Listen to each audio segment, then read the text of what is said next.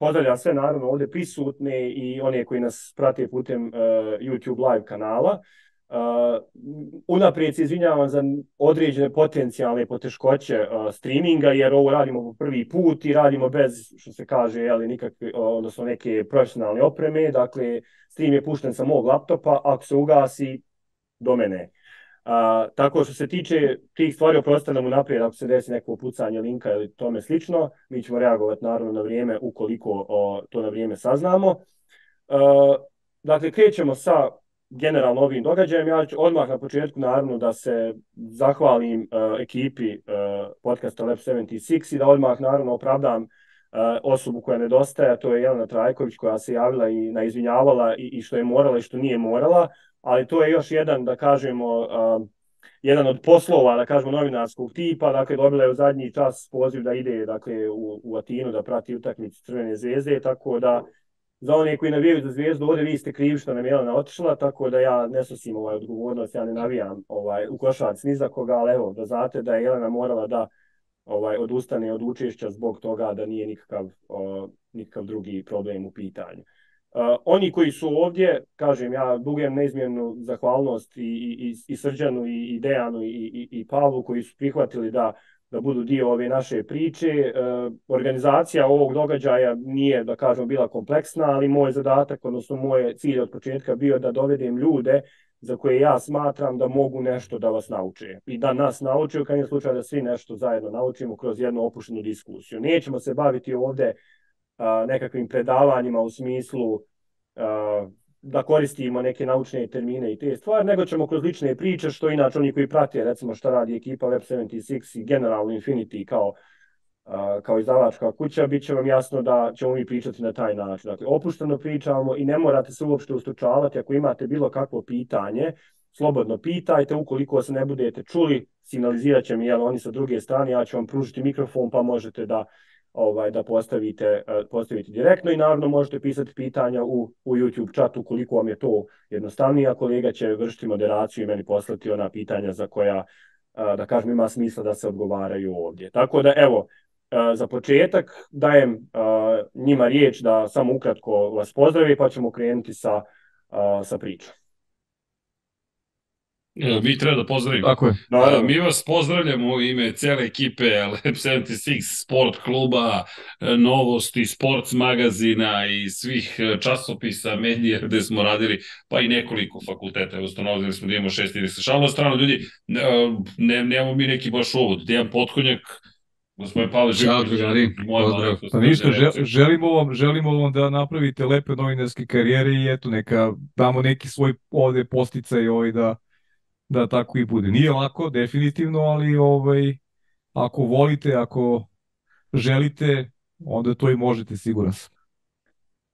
Ok, Ovo je ono motivacijono bilo, znaš. Da Ovo je dovoljno motivacijono, znaš, nije sad dovoljno. Ajde, krenćemo, on je neke teže stvari ćemo na kraju, znaš, nećemo ajde, sad, ajde, baš. To ćemo na kraju, šalim se, naravno. Um, ja bih krenuo sa jednom, ajde da kažemo, um, uopštenijom temom. Što se tiče Srđana, znam dosta o tome, lično, pošto sam slušao podcaste u kojima je gostovao, pogotovo kod, e, kod Ivana Minića, ali generalno bih volio da, e, da ukratko samo krenuši od srđana, pa mogu i drugi naravno da se nadopne mm -hmm. nekim svojim primjerima, da nam objasnite kako je novinarstvo izgledalo u vašim početcima. Ovdje prvenstveno mislim na Clarice Williamsa jel, e, i taj mhm. primjer. Mm -hmm Srđanov, ali ovako ukratko da nam samo kažete vaša iskustva, vaših početaka novinarstva kada ste se vi krenuli baviti, pa ćemo poslije da se vratimo u sadašnjost. O, vidi, to je bilo, to, to, to, to, je, to je 30 i kusur godina. Ja sam ovde najmlađi zapravo, čisto da se pohvalim, sad mogu da otkrijem jednu malu tajnu. I imam najkraće radno iskustvo, ja sam počeo 95. godine da radim, 1995. godine da radim, ali moje, rad, moje iskustvo, pa ma, moje iskustvo zapravo kreće od tate, koji je bio sportski novinar, čuveni, ja sam i dalje za njega malo dete, bukvalno, i ja sam bio Pajin Mali, to je od Pavla Ercega, jel te, dete, mama je takođe radila u politici i sportu, ali neka druga priča, koliko god ja nju volim, tata je bio taj koji je jel te doneo pisaću mašinu kući, kucao nešto, ja sam to onda tako, čuf, čuf, ništa nisam pametno tu kucao, ali sam dolazio u redakciju, pa sretneš, ne znam, Vladu Divca, sretneš ovog, sretneš ovog, sada da ne, baca, ne zbacujemo se imenima, ali ne znam ko se seća metaloplastike, pošto je tata bio rukometni novinar, pa onda upoznaš sve te ljudi i to je odatle krenulo zapravo, pa sam onda 95. u potrazi za poslom se pridružio zapravo Paji koji je već radio u sportskom žurnalu, sa Dekim se upoznao, postali prijatelji Deki koji već uveliko radio u novostima i u slično vremena smo krenuli, ali kada pričamo o početcima, vratit ću se na tu priču koju si spomenuo, međutim da svi zajedno pričamo. Naravno. E, ja sam htio samo da radim kao kurir da bi imao para dovoljno da odim na more, pošto 95. za mene to bilo, znaš da je more stići do mora i onda je Simke, tadašnji glavni odgovorni urednik, rekao aj ti si dete od novinara da vidimo da li se nešto tu, jel te, da li je klada Iver ili je nešto drugo u pitanju i dao mi je priliku da radim kao novinar i sticam okolnosti Peđa Milinković, naš drugar je otišao na RTS i otvorilo se prilika da radim automobilizmu. Bukvalno je tako krenulo, sad ima tu milion priča, ali Ja zapravo ne znam kako je Deki krenuo, ne znam ni kako je Paja krenuo. To mi ja, ja ću da, da čujem, ajde da čujemo. Pa evo, evo, evo Paja će, Paja je krenuo na sličan način kao i Deki, znaš, svi smo mi nečiji sinovi, i nekako kad u, u kući slušaš priču o, o nekom poslu, ti se teo nekteo negde emotivno i vezuješ za ono što proživljavaju tvoji roditelji. U to u ovom slučaju, moj otac pokojni je takođe bio u, u tim vodama, bavio se nekim drugim poslom, on je bio finski snimatelj, bio je dugo godine urednik dokumentarnog programa na te politici i ja sam nekako i bio predodređen, eto, ajde da kažem, zanimao me taj posao, pa sam u kući politika krenuo da da radim, a kao neko koji je bio u sportu i voleo sport, isto mi je baza kao i srđenu bila sportski žurnar, s tim što ja nisam imao dodirnih tačaka sa automoto sportom, ja sam krenuo od futbola, s obzirom da sam futbol i trenirao, tako da sam negde kroz, ja volim da kažem, ali to ističem sa, sa ponosom, ovaj, taj neki rudarski posao, stvari, to je jedna škola, taj sportski žurnal mogu da je nazovem slobodno pravom školom novinarstva, bakar u to vreme sam ja tako doživljavao, mislim da, da, da takvih vrsta škola više ovaj, da je sad nastup popuno drugačije. Znaš, onaj rad od, od bukvalno, ne znam, najnižih liga, pa onda postepeno, postepeni ovaj, razvitak u zavisnosti toga kako se ko, ovaj, kako se ko pokaže, ali to su neki početci bili, eto, i upoznavanje sa srđanom, dakle, naše poznanstvo datira baš dugi niz godina, s tim što smo bili na različitim rubrikama.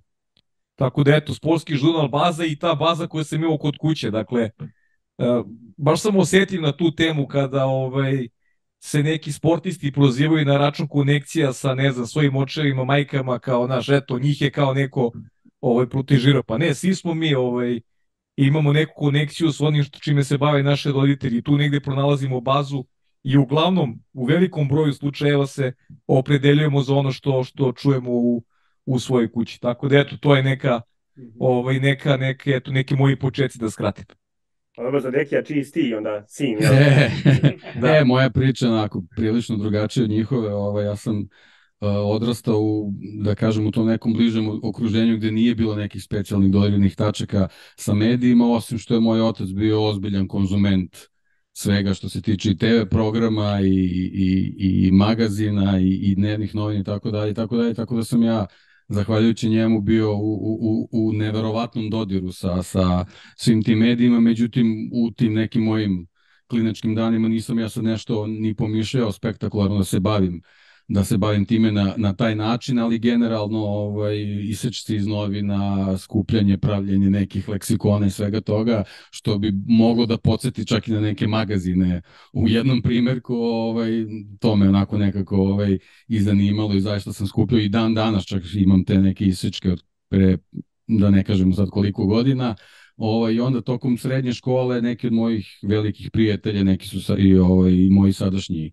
kumovi i tako dalje, tako dalje su kroz neka svoja školovanja krenuli na neke prakse u, u, u medijske kuće i ja sam bio jed, jedan od redkih koji kad stigne poziv kao da li bih hteo sa mnom da mi praviš društvo, koji je to prihvatio, ali generalno sve što sam radio u životu u principu voleo sam da probam, da, da, da radim neke nove stvari i tako sam se ovaj susreo sa, sa redakcijom sporta, Uh, gde sam ovaj prvi put imao prilike da vidim kako je nastajalo to šta sam voleo da, da, da čitam i, i konzumiram i da pratim, onda vidiš onda se upoznaš i sa telefaksom i sa faksom i, i, i sa tim nekim raznim izvorima gde u stvari tek vidiš kako to, kako to sve, sve nastaje i onda tamo negde u, u ovaj kad kad je kad je krenuo fakultet, u stvari kad su se neke druge obaveze smanjile, pošto ja sam tokom srednje škole onako ozbiljno i trenirao i atletiku i bavio se još nekim drugim stvarima, posle vojske, kad sam krenuo na fakultet, praktično fakultet je bio, da kažemo, ta jedina obaveza. Naravno, ne mala, ali opet je dozvoljavala neko vreme ovaj, sa tim istim osobama koji su prihvatili, ovaj, to jest javili se neke konkurse ovaj, medijskim kućama, ja sam ono, odlučio da, da ja probam čisto da vidim kako to izgleda i onda sam se obreo u večernim novostima, uh, svoje, svoju neku prvu, da kažem, praksu i neku pravu novinarsku školu sam prošao kroz Beogradsku redakciju večernih novosti koja je tada onako bila ozbiljan rasadnik uh, novinara za kasnije za razne du, druge ovaj redakcije i onda sam pošto to ta ta ta redakcija je i neki poslovi kojima sam tad tad koje sam tada obavljao su imali dosta dodirnih tačaka sa sa mojim fakultetom i onim što sam što sam generalno ovaj, učio kroz srednju školu, obavljao sam sve te dužnosti, međutim nekako mene uvek privlačila uh, sportska redakcija, to jest automotosport, ta atletika i tako dalje i tako dalje, naravno i ostali sportovi koje, koji dan danas volim i jednostavno sebi sam nekako dao zadatak da, da, da ovaj, novinarstvo mogu da se bavim samo ako, ako, ako krenem u te neke vode koji se tiču sporta i posle nekih godina dana sam, eto, zahvaljujući nekim svojim da kažem, istaknutim radovima u toj Beogradskoj redakciji dobiju priliku da dođem, dođem u sportsku, eto, kao, kao, kao i neka nagrada i ovaj, od, od 90, 94. praktično, da kažem, da, da, mi zvanično kreće karijera, od, od 95. sam u, u sportskoj redakciji, posle eto nekih pet godina, onako, pet, šest godina ozbiljnog rada tamo, uspeo sam čak da dođem i do pozicije glavnog urednika sportske redakcije večnih novosti, da sam obavljao dve godine tu funkciju i onda su kasnije krenule neke ovaj ozbiljnije priče vezane za automobilizam, automotosport i tako dalje i tako dalje i da da skratim priču to što kaže pa eto danas sam tu i uz te neke ovaj obaveze vezane za za ono što najviše volimo, to je to novinarstvo i i pisanje, eto tu se pojavljaju još neke i uredničke i organizacione funkcije i tako dalje i tako dalje, a to je u stvari samo neka nadogradnja koja je potpuno prirodna kad eto, dođeš do karijere koja to bez mola traje 30 godina, to je nešto sasvim, sasvim normalno. Evo, Eto, nad, nadam se da je bilo ukratko. ne, odlično je, odlično je sad uvod za ovo što sam sljedeće htio da pitam, evo Srđane, ti možeš ovaj, da. nadovezati se na to, jer ti si spomenuo malo prije da je tvoj otac bio rukometni novinar. Jest. E sad da mi uporedite uh, tu, da kažemo, vaše početke, gdje je, ajde da kažemo, nekako postojala ta specijalizacija za određenu, da kažemo, jeli, granu na koju ćete se usmjeriti na određen sport, a danas znamo da to ipak baš i nije tako, da vi možete da se specijalizujete, da budete samo novinar u određenom, mislim, možete u određenim velikim, naravno, medijskim kućama, ali kod većine medija je u suštini, makar iz mog iskustva, ipak malo drugačije. Pa ako možeš nekako i to da prokomentarišeš u smislu tih specijalizacija na nasuprot onoga što se dešava danas. Znaš kako, mislim da si ti dao odgovor zapravo u svojoj rečenici. Mi smo počeli u velikim medijima.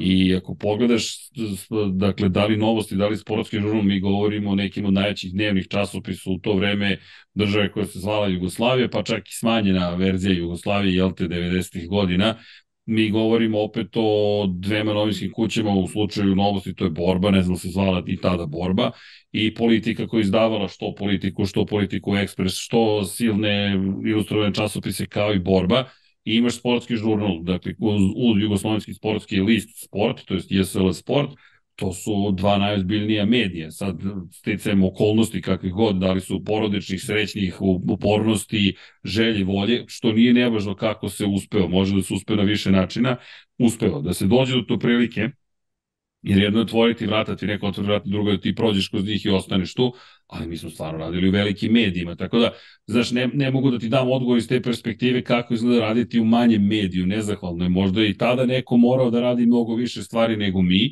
ali ja sam sticam okolnosti dobio automobilizam, pa u okviru automobilizma neke obaveze, ali sam takođe dobio ogromnu slobodu da ja radim Pa ako ja smatram da treba da se piše o Paris Dakaru, ja sam pisao o Paris Dakaru i moje je bilo da predam tekst. Da li će taj tekst da ugleda svetlost dana, to je pitanje za urednika. I s druge strane, znaš kako, ako pravimo bilo kakva poređenja, za, ne, ono što ja ne znam, ne znam kako ljudi rade danas. Jest, zaista to nemam predstavu. Dakle, čak i u velikim ili malim medijima, da li dobio priliku se specializuju, još jedna stvar, apropo, apropo priče o, o, o tome da li će biti objavljen tekst. Danas ti je zagarantovano da će tvoj tekst biti objavljen, jer ti manje više imaš beskonačnu količinu podataka koju možeš da plasiraš pre svega na internetu, a mi smo tada imali, to nije kukanje, samo konstatujemo ograničenje u vidu broja stranica koje imaš. Nema gde da se objavi, ne postoji internet u to vreme. To je postoje, ali ne ništa slično ovome što danas pričamo. Znaš, tako da...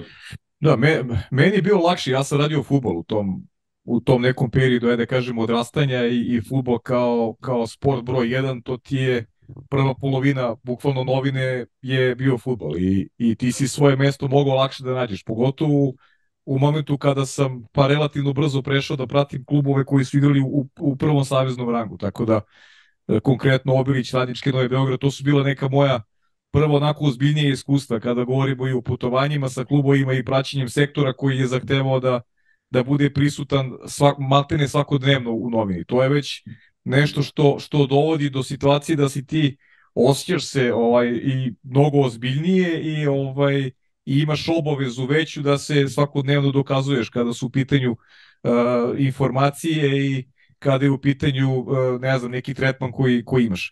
Uh, ono što ono što je problem svako bio tog perioda našeg odrastanja, on je svako nije mali, a to je finansijski.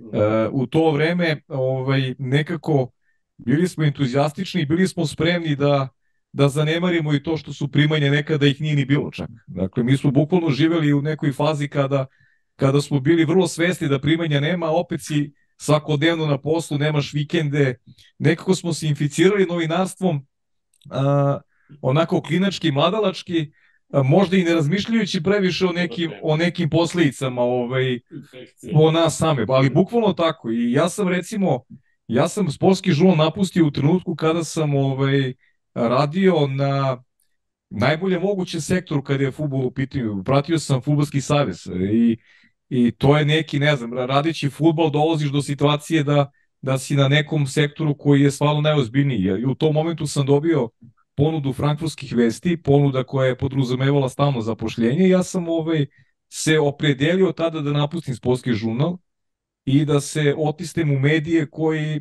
to je, to je novina koja ne izlazi u Srbiji, imala jedan kraći izlet tamo negde 2000. godine, recimo 2001. godine, sada se više i ne sećam, sada ih ponovo ima na kioscima, ponovo izlaze ovde, ali list namenjen dijaspori. Tako da sam napustio ovo ovde podneblje, upravo kažem iz tih razloga, jer sam negde shvatio da perspektivno a, a, zaposliti se u politici u to vreme, to je zaista bila ovaj teška matematika. Bez obzira, eto, u sve te, eto, nazovi srđen ja konekcije koje smo imali i roditelji su radili u toj kući, zaista je bilo gotovo nemoguće emisije dobiti posao u politici i to je bio moj razlog zbog kojeg sam krenuo nekim drugim putem i, i prihvatio sam ponudu medija koji, kažem, u ovim okvirima nije, nije poznat, popularan, ali eto, meni je dao neku drugu ovaj vrstu sigurnosti i tu se proširilo to moje dejstvo kada pričamo o sportovima koje pratim. Dakle, više nisam bio usko vedan samo za sport, jer samim tim redakcije i manje, manje ljudi na sportskoj rubrici i onda sam počeo da pratim i stvari koje, koje nisam radio u, u sportskom žurnalu. To je, dakle, praćenje drugih sportova gde sam ja se vezao i za vaterpolo i za automoto sport i radio sve i druge stvari. Eto, o tome ne bih, baš ne, ne bih ni pričao sad, ovaj, širio mnogo temu, jer stvarno ima mnogo toga da, ispri, da ispričali, eto, ovaj neki neki moment koji meni bio važan kada pričamo o nekom mom ovaj, putu novinarskom. Pa evo, ako može i Dejan da se nadoveže sad na tu priču, ali samo sa jednim osvrtom na osnovu ovoga što ste i rekli i što se nameće kao zaključak, a vjerovatno će Dejan da to ovaj, i potvrdi vjerovatno svojom pričom. Dakle, suštinski, pošto ste svi vi manje više originalno sportski novinari, tako da kažem. Tako je. A, suštinski, ako možeš da nekako, ja to uvijek govorim studentima, da ne bude da samo ja pričam, da im neko i drugi kaže, preduslov za dobrog sportskog novinara jeste da budete dobar novinar. Dakle, prvenstveno dobar novinar uopšte, da biste mogli da se bavite sportom kao rubrikom, kao polju, da, da, da izvještavate o tom polju. Dakle, jednostavno mislim da je mi to naj u smislu, samo trebaš da budeš fan sporta i to je to. Sve je dovoljno, ostale ti vještine ne trebaju. Pa ako možeš neki ti jedan osvrt na tu priču. Pa mogu, eto ta neka moja, moja priča se možda baš nadovezuje na to što si ti rekao. Ja ponovit ću, ja sam, ja sam svoj prvi susret sa novinarstvom imao u Beogradskoj redakciji večernjih novosti koja je bila jedna od, od, od čitanih rubrika generalno u, u večernjim novostima, a i mislim i u tadašnjoj dnevnoj štampi. Ja sam tad pisao za, za, za rubriku koja se čitala u 400.000 primjeraka. To je onako kad, se, kad se neko prvi put susretne sa, sa, sa novinarstvom, to je ako bismo poredili sa nekim, sa nekim današnjim normalna, normalnim brojevima, to je ravno nekim milionima pregleda na, na, na nekim društvenim mrežama. Ovaj, pritom vrlo brzo, posle, posle nekog kraćeg perioda upoznavanja i učenja nekih osnova rada u večernjim novostima, ja sam dobio ovaj igrom slučaj da pratim neke, neke ozbiljne sektore i da radim neke, neke ozbiljne rubrike, vesti, informacije i nekako to, to novinarsko sazrevanje kada radiš u, u jednoj dnevnoj redakciji traje mnogo, mnogo brže nego, nego bilo šta drugo sa čim možeš da se susretneš, a onda nekako sav taj rad koji se ovaj eh, desio u, u toj beogradskoj redakciji me upravo i preporučio da me da me vrlo brzo uh, prihvate i, i, i ovaj jednostavno ne znam kako bih rekao, možda, možda onako nezgodno zvuči sad da kažem nagrade, ali jednostavno neka, neka moja želja da, da, da pređem u sportsku redakciju je eh, naišla na razumevanje, pre svega zato što sam dobro obavljao taj posao, ovaj, radići neke, neke mnogo mnogo ozbiljnije teme, neke mnogo, mnogo ozbiljnije o, ozbiljnije sektore, a dobra stvar u večnim novostima u to vreme bilo, su u stvari bili urednici koji su jednostavno prepoznavali afinitete ljudi koji su to radili i nisu želeli po svaku cenu da ih zadrže na nekim sektorima, bez obzira koliko oni to dobro radili, kako god profesionalno radili, ukoliko to njihovi afiniteti nisu bili, ne, nego su jednostavno u tom trenutku raspoređivali ljude tamo gde gde ovaj pre svega žele da budu gde, gde žele da rade, a onda su zbog zbog jako dobre organizacije prihvatanja mladih ljudi u, u, u sredini kao što je Beogradska redakcija večnih novosti dovodili neke nove na to mesto i ponovo ih učili neka da kažemo tradicionalna i čuvena škola večnih novosti koja je bila stvarno iznedrila pre svega sada već ljude u ozbiljnim ovaj, profesionalnim godinama koji, koji s ponosom mogu da kažu da su, da su tamo i počeli. E sad što se tiče prelaska u sportsku redakciju,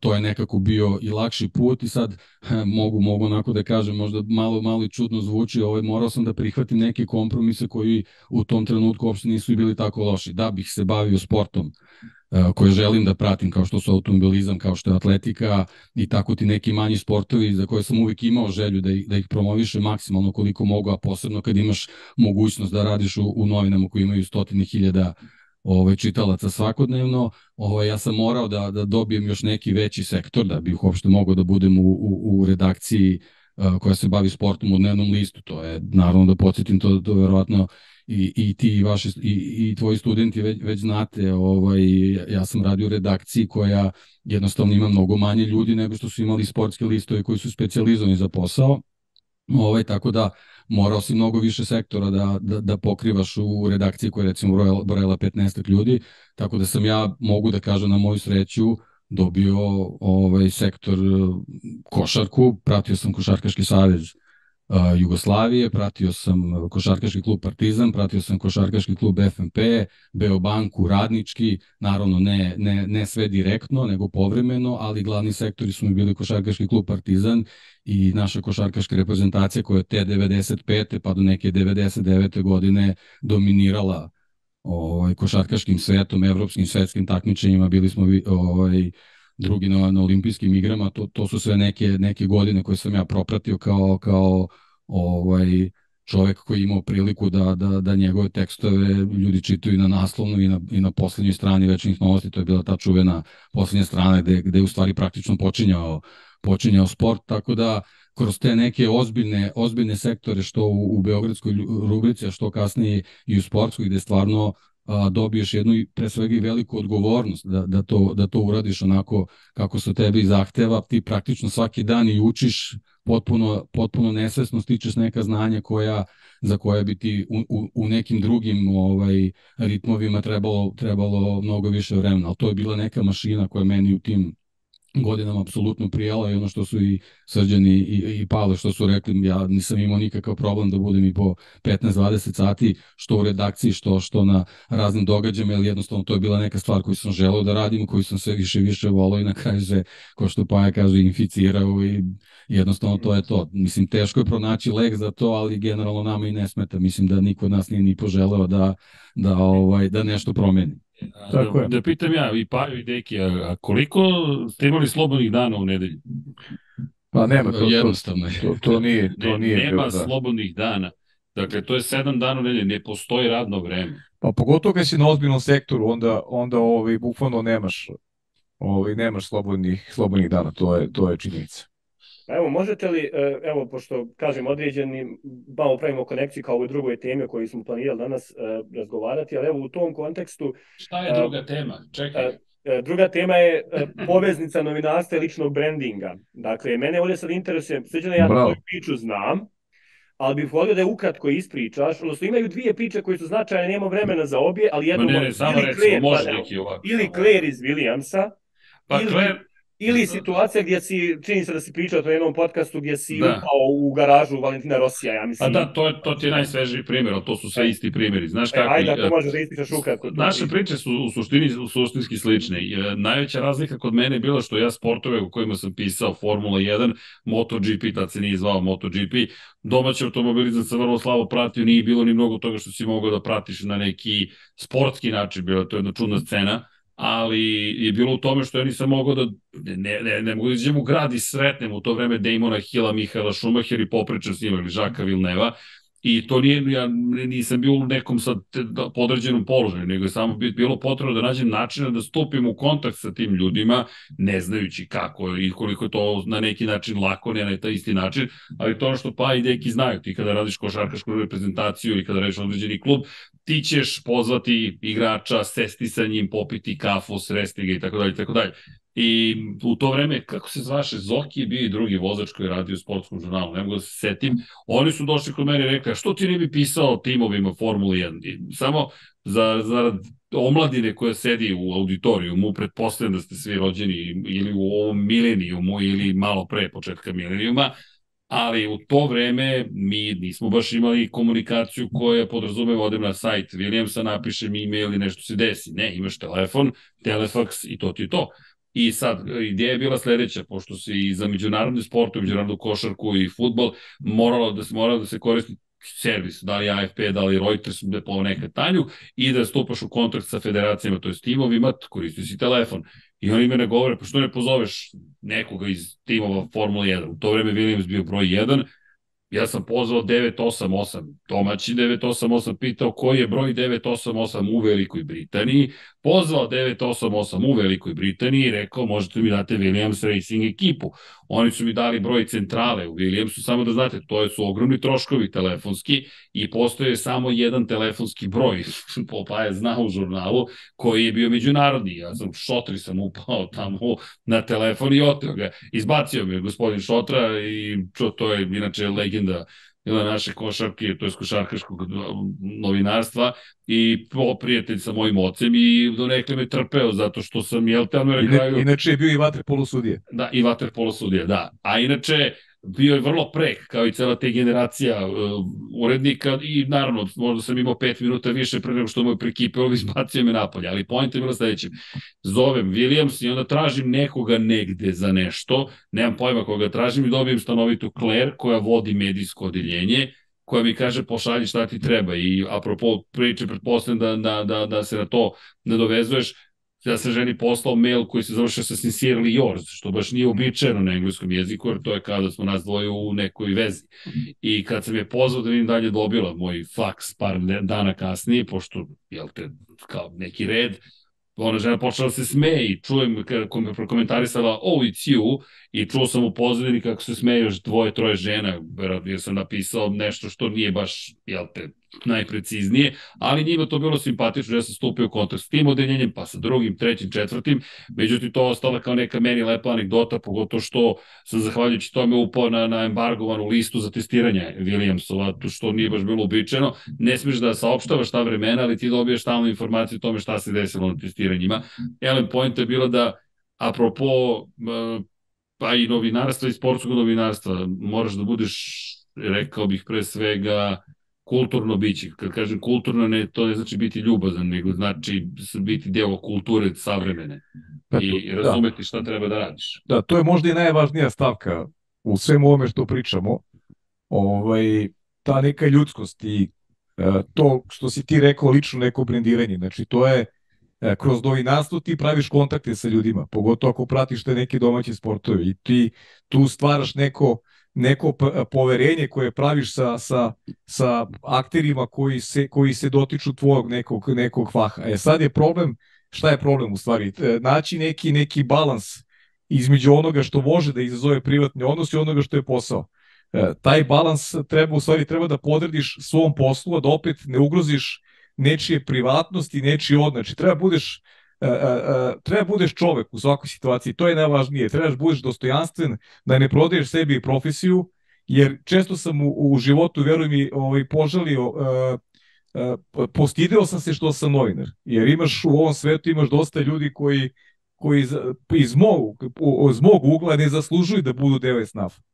A to su uradili svojim delovanjem ili nedelovanjem, kako god možeš to da postaviš, jer ima mnogo, kao u svakom poslu novinarstva ima mnogo ovaj, korova, ima a, mnogo problematičnih ovaj, osoba kojima tu nije mesto, a mi kao Estam se nismo potrudili dovoljno možda da ovaj neke anomalije ovaj u profesiji ostranimo, već su mnogi ovaj koji svoj posao rade nečasno a, dobili priliku da ovaj da postanu neki deo nazovi elite ili kako to da se zove, ali to je opet, kažem, problem profesije i neka ružnija strana koja prati ovaj novinarsku profesiju.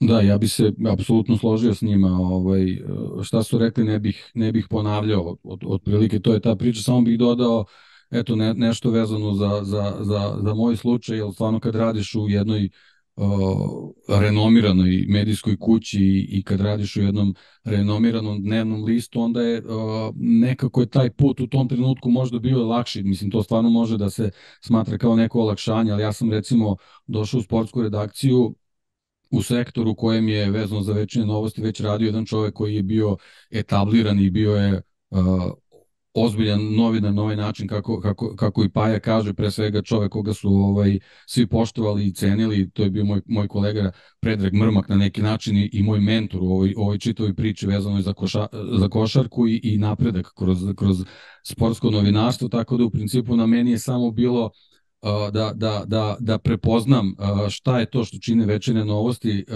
šta je to što ih, što ih čini prepoznatljivim, da se nekako ovaj, ja poistovetim sa, sa, sa tom pričom i dodam onda neku, neku svoju crtu i svoju notu po čemu će me moji moji sagovornici, da kažem, to je ljudi koji su u sektorima koje ja e, pratim, prepoznati e, i pre svega ti verovati da, da bukvalno u svakom trenutku možeš da ih, da ih pozoveš i da, i da tražiš ovaj materijal za, za tekstove koje pišeš, a, a složit ćete se od, od, od te 95. koje sam spomenuo do neke 99 naša košarka je stvarno bila u, u ozbiljnom fokusu i ja, ja sam bukvalno svakodnevno imao zadatke gde sam morao da, da, da pravim tekstove koji će se čitati, koji su se nalazili na udarnim stranicama u novinama i bez, bez dobre konekcije sa, sa, sa sagovornicima jednostavno to nikako ne bi da. bilo moguće. Opet sa druge strane olakšavajući okolnost da ako, ako u, u samom startu sve uradiš kako treba, tebi se apsolutno sva, sva vrata otvaraju, tako da bukvalno takve stvari budu na tebi, da, da, da ti budeš taj koji će da se postaviš u pravu poziciju. E sad, mi smo nekako radili u, u nekom poslednjem vremenu uh, u kojem nije bilo ovaj poplave raznih medija, mi smo praktično ovaj, imali te krugove jako malog broja dnevnih novina, jako malog broja uh, sportskih listova, uh, i, i nekako je bilo mnogo lakše prepoznati e, kvalitet koji se nalazio u tim medijima, međutim sad kako je krenuo ovaj tsunami sa, sa društvenim mrežama i sa, i sa internetom, naravno sa, sa tim kvantitetom nije, nije došao kvalitet u tolikoj meri, tako da sad je jako teško da, da neko čak i kad ima a, dobru ideju i možda radi u neku malu mediju, a, a to može da radi na kvalitetan način, jednostavno izgubi se u moru tih ove koje, koje Paja već spomenuo i onda, i onda ovaj dolazi do, do jednostavno nekako ne može ovaj sav kvalitet koji postoji da, da, da ispliva. Ja bih samo da se nadožem ono što je Deki rekao, a, dotaći se kratko i tog upada kod, kod Rosije, ali to što se me radi apropo Rosije, to je ono što Paja, Deki i bilo ko ko radi na domaćem terenu radi svaki dan.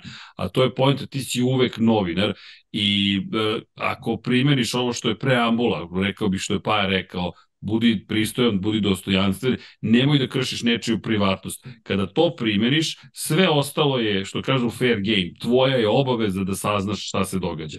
Da li ćeš ti sve da plasiraš što si saznao, opet je tvoja i odgovornost i obaveza, obaveza prema javnosti, odgovornost prema javnosti takođe i prema sportisti, sportistama, sportistinjama, kako god, ili samom sportu. Dakle, šta je pojenta?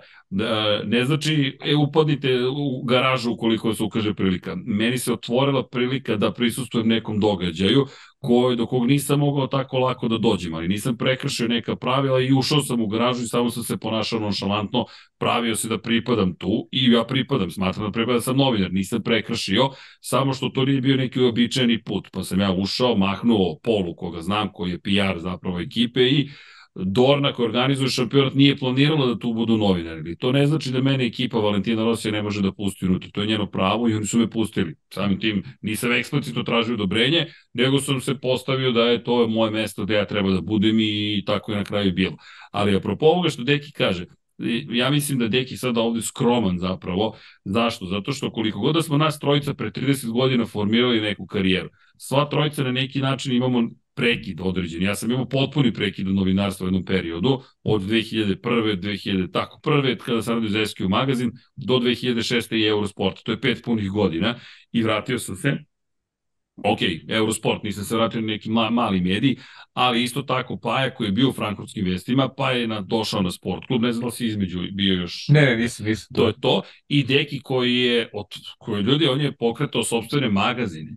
Dakle, to nije potpuna priča i ono što ja hoću da kažem je, mislim da je to najvažnija stvar. Ljudi, ako vi imate kvalitet, strast, posvećenost, disciplinu i upornost, Ovo je zanatski posao. Dakle, da je meni neko rekao da ću 2022. da sedim, da li s Dekim, da li s Pajom, u studiju koji smo sami napravili, pričati sa vama preko Zuma, zato što smo vam mi, nadam se, interesantni, ne znam da li bih baš rekao, ej, planiram zaista svaki dan da se bavim novinarstvom, jer to, to je bukvalno ponedeljak, utorak, sreda, četvrtak, petak, subota, nedelja.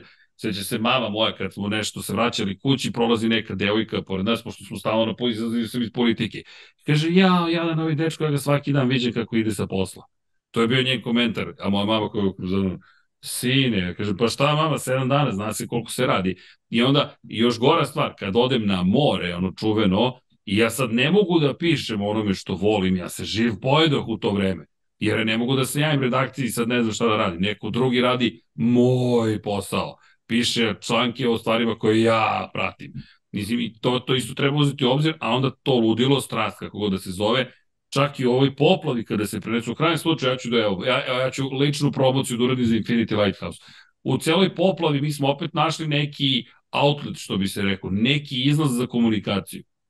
I to je, da nema deke, da nema pajem, mi ne postojimo. To je, to je zato što oni imaju te kvalitete. Zajedno sa mnom, ok, ali pre svega hoću da kažem, ako imaš kvalitet, imaš kvalitet, ako imaš upornost, imaš upornost, ako si stvarno novinar. To je, to nije, to nije zaposlenje, to je tvoj poziv. To je bukvalno tvoj poziv. Ti nisi novinar od 9 do 5. Ili si novinar ili nisi novinar. Ne, ne, možda vam neće doneti mnogo para, ali ta infekcija virusna koja se zove novinarstvo je stvarno snažna. Znaš, tako da samo bih iskoristio, sad, sad sam shvatio da zapravo sva trojica su imali prekidi, kao nije to, aha ti se radi u novostima pa si zato uspeo. Ne, novosti su dobile tebe, to je moj pogled na stvar. I, i, i, i obrnuto, mi smo dobili od tih velikih kući, te velikih kući su dobili od nas, a onda smo otišli negdje drugde i ponovo radimo nešto što iz kojeg god razloga se nekome dopada. A ne, te velike kuće su nas oblikovale. U stvari, nadovezuje se na Dekija, poput njegovog urednika, tako i sam ja imao ljude koji su me pravilno usmeravali. To je mnogo bitno, znaš. Jer ti u svakom poslu imaš one koji vrede i oni koji, pa neću reći ne vrede, možda manje vrede, ali ovaj, bitno je da ti pronađeš sebe u nekoj, nekoj ovaj, nekoj priči da možeš sebe da izgradiš i da postaviš neke temelje onoga što se zove ličnost. A to je mnogo važna stvar ili iz tog, iz tog odnosa sa ljudima ti sebe negde crpiš i kao novinar pritom dovodiš u situaciju da sportistu s kojim komuniciraš, da bolje razume tvoj posao ako prepozna u tebi nešto što je ajde da kažem i ljudski kvalitet i vidi da imaš neki odnos, da imaš, da dobro percipiraš stvari i tako dalje. To je sad jedna široka tema kompleksno je, ovaj, učimo dok smo živi, svi učimo i, i ovaj, pokušavamo da, da, da, da sebe ovaj, napravimo i, i bolje ljude, a samim tim i bolje novinare, pošto I, govorimo o profesiji. Izvini, evo, mi smo sad youtuberi, dakle... Da, da, da.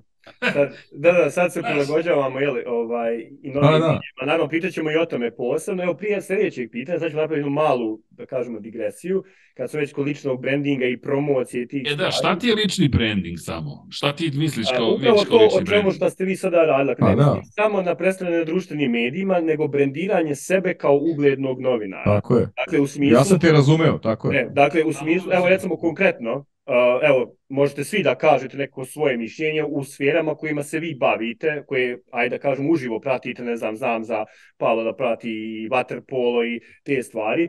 Da li ja nisam veliki, veliki igrači, ne znam, ugledni uh, igrači, treneri, osoblje, da li znaju ko ste vi? Kada se pojavite na poluvremenu, da im tražite izavu ili tako nešto. Dakle, o tome ovde govorimo koliko je to u suštini ne samo za sportsko novinarstvo, nego za bilo koje drugo novinarstvo, da se jednostavno profilišemo kao osobe od integriteta i da ne ne u smislu da smo mi poznati nekim klincima na, na cesti, ok, nije ni to loše, ali da onaj domen ljudstva, što kažemo, publike koji je nama bitan, da nas prepoznaje. Dakle, da zna da smo to mi, ok, možda ne znaju u detalje naše biografije, ali ok, to je taj novinar, ok, on zaslužuje moje povjerenje, ja ću njima da dam jel, ovaj svoj uh, odgovor ili da dam intervju ili tako nešto. Ali evo, prije nego što nastavimo, jedna mala pauza, ovo bit će prva nagrada, dakle, dodjeljujemo jednu knjigu, uh, evo, malo da promovišemo, jel, Dejanov, ovaj, da kažemo, uh,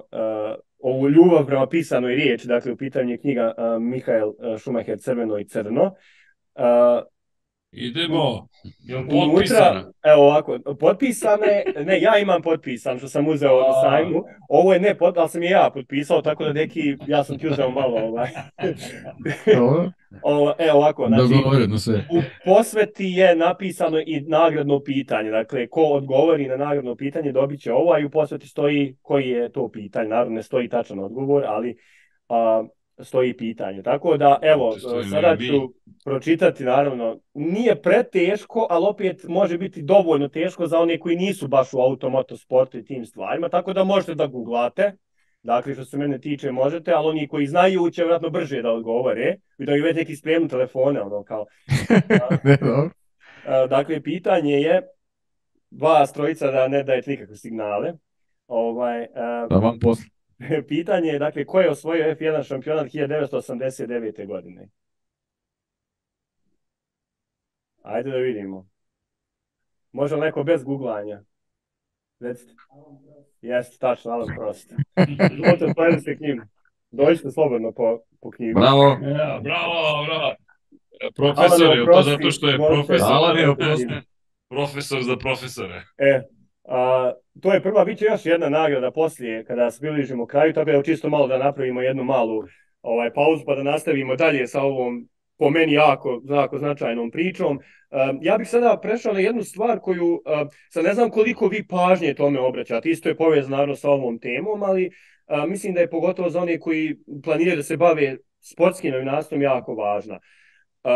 Kako pomiriti da kažemo recimo nekakva lične ambicije, odnosno lične strasti ili navijačke strasti, tako da kažemo u smislu koje gajimo prema nekim klubovima, recimo znam za Dekija i Liverpool, znam za Broncose i uh, Ercega, sad ne znam za... Bro, Jetsi, ja. Jetsi, izvini, izvini, izvini, Jetsi su u pitanju.